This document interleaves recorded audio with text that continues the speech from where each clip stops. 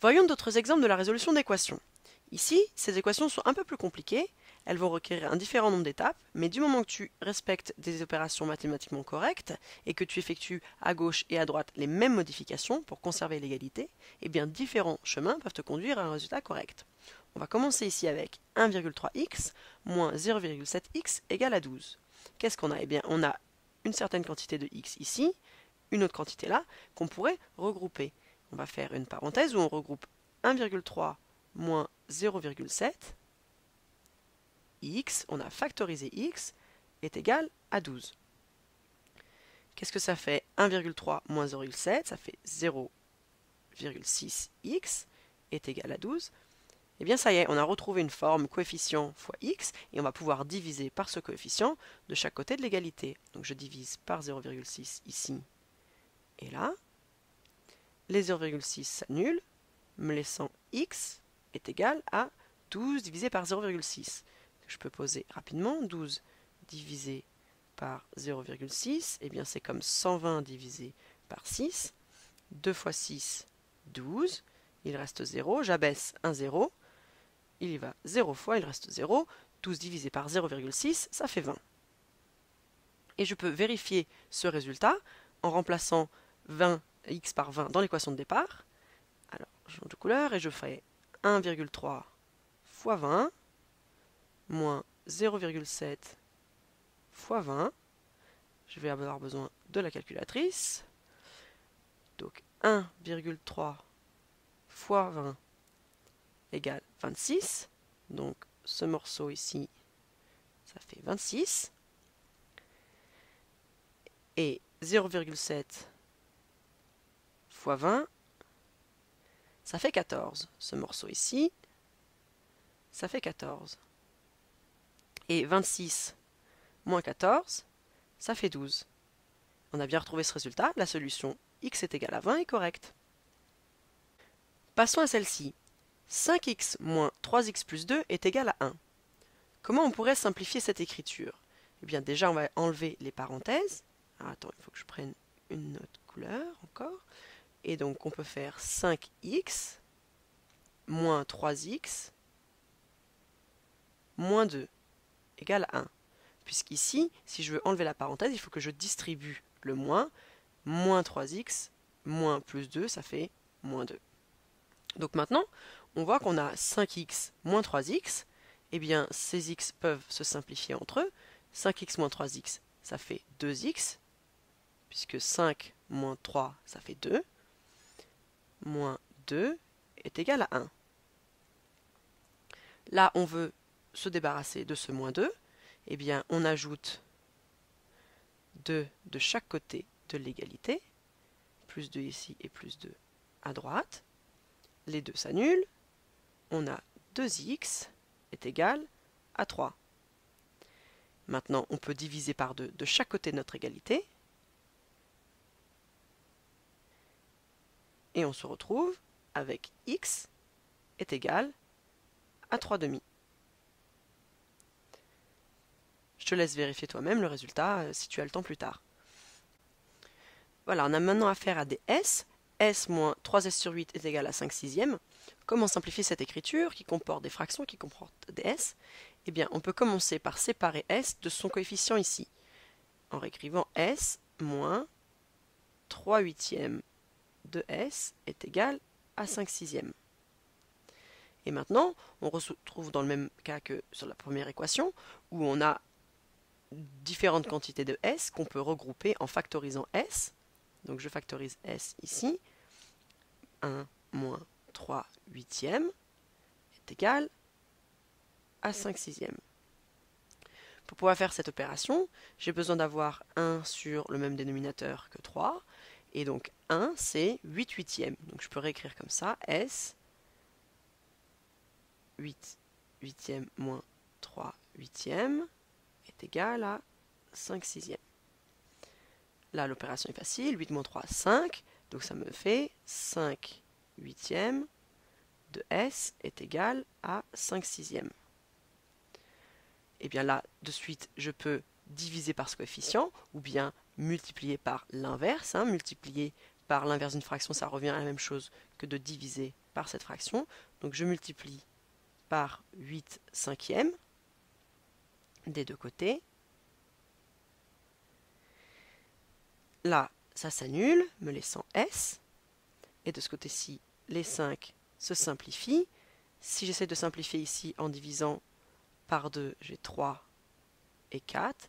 S est égal à 4 Encore une fois, tu peux vérifier en remplaçant l'équation de départ.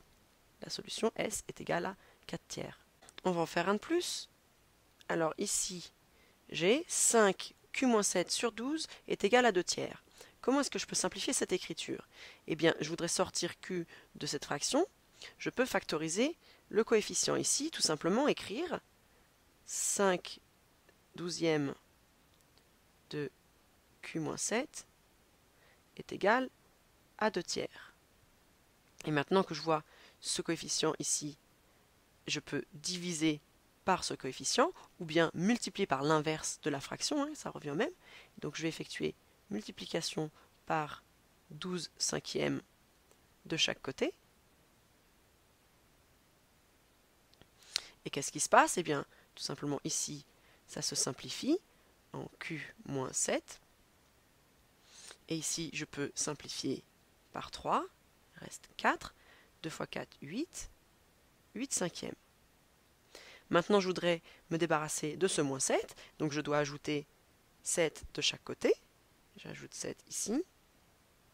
Et là, ça se simplifie. Q est égal à... Alors, comment j'ajoute 7 à 8 cinquièmes? Eh bien, je dois exprimer 7 sous forme d'une fraction de 5. Ça fait 8 cinquièmes plus 35 cinquièmes. 7, c'est 35 cinquièmes. Est égal à 43 cinquièmes. J'ai Q égale à 43 cinquièmes, solution de mon équation. Alors on aurait pu utiliser une différente manière, tout aussi correcte. Je vais réécrire ici l'équation de départ. 5 Q-7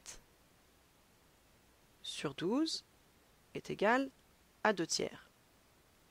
Et là, si au lieu de factoriser 5 douzièmes, je veux juste me débarrasser du 12, eh bien, je peux multiplier par 12. Je vais multiplier par 12 de chaque côté. Je multiplie par 12 à droite aussi. Les 12 se simplifient. Il me reste 5 Q-7 est égal à, donc là on peut simplifier par 3, 2 fois 4, 8. Et là, je ne vais pas tout de suite diviser par 5, sinon ça va ressembler trop à la précédente technique. Je vais utiliser un cheminement différent. Je vais distribuer le 5 pour séparer euh, Q des nombres. Donc je vais faire 5Q moins 5 fois 7, 35 est égal à 8. Et là, je peux me débarrasser du 35 en l'ajoutant de chaque côté de l'égalité.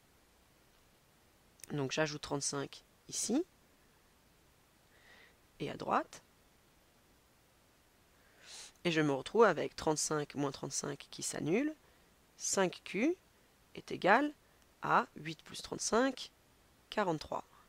Et maintenant, si je divise par le coefficient, ici, ah je vais prendre une différente couleur, si je divise par le coefficient ici qui est 5 de chaque côté, eh bien il me reste Q est égal à 43 cinquièmes on arrive à la même solution, suivant les deux techniques qui étaient complètement différentes. Et tu peux remplacer Q par 43 cinquièmes dans l'équation de départ et vérifier que ce résultat est juste. Alors passons maintenant à un problème. Résolution de problème. Jade n'a que 10 euros pour rentrer chez elle. Le taxi coûte 0,75 euros par kilomètre, plus 2,35 euros de frais à la prise en charge écrit ce problème sous forme d'équation et détermine combien de kilomètres elle peut parcourir avec son argent. Eh bien, comment on va extraire de ce texte les informations qui nous permettent d'écrire une équation? On a le coût du voyage en taxi qui est égal à 2,35 euros à la prise en charge, 2,35 euros, plus 0,75 euros par kilomètre. 0,75 euros et on va mettre ici D, l'inconnu. D est égal au nombre de kilomètres. Qu'est-ce qu'il en est de Jade? Elle a un budget de 10 euros, donc pour elle, le coût maximum est de 10. On peut réécrire ici. 10 sera égal au coût total du voyage de Jade. 0,75 D. Comment simplifier cette écriture Eh bien déjà, on veut se débarrasser de 2,35 ici. On va soustraire 2,35 de chaque côté de l'équation. Donc on soustrait 2,35 ici. Et à droite, 2,35. De ce côté-là, ça s'annule. De ce côté-ci, 2,35 ôté de 10. Eh bien, 2 ôté de 10, ça fait 8. Moins 0,35, ça va nous faire 7,65 est égal à 0,75 D. 0,75 D.